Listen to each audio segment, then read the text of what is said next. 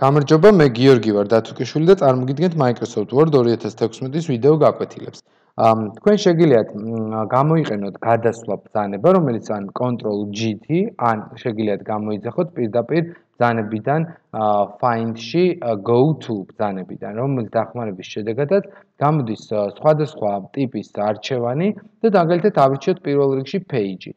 და ვიცოდეთ რომ თუ ჩავწერთ მაგალითად page 5 და გავაწვევით go to-ს გადაგვიყვანს მეხუთე გვერდზე.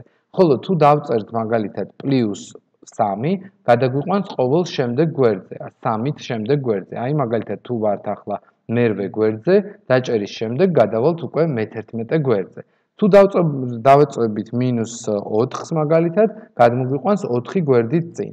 თუმცა გვერდების გარდა არის კიდევ შესაძლებელი სექციებზე გადასვლა და თქვენ თუ ჩვენს ჩენელს უყურებთ მთლიანად და მიყვებით ვიდეოებს და ასე სწავლობთ, მაშინ სექციები უკვე ნასწავლი გაქვთ და ხვდებით რომ გადასვლა შემდეგ სექციაზე ნიშნავს რომ გადაგიყვანოთ დოკუმენტის უკვე შემდეგ ნაწილზე, რომელიც სექცია თქვენს მიერ შექმნილია, line არის ხაზი და გადაგიყვანოთ დაუშვათ პლუს ან მეხუთე ხაზზე და შემდეგ უკვე გადაიყვანოს დაუშვათ პლუს 50-ე ხაზზე და ყოველ 50-ეზე bookmark-ი, რომელიც ასევე ნასწავლი გაქვთ კომენტარი, footnote-ი და endnote-ი, რომელსაც შემდგომ ისწავლით და ასე შემდეგ. ანუ თქვენი სურვილის ამებ გადასვლებს მოახდენს პლუს და მინუს ღილაკების დახმარებით.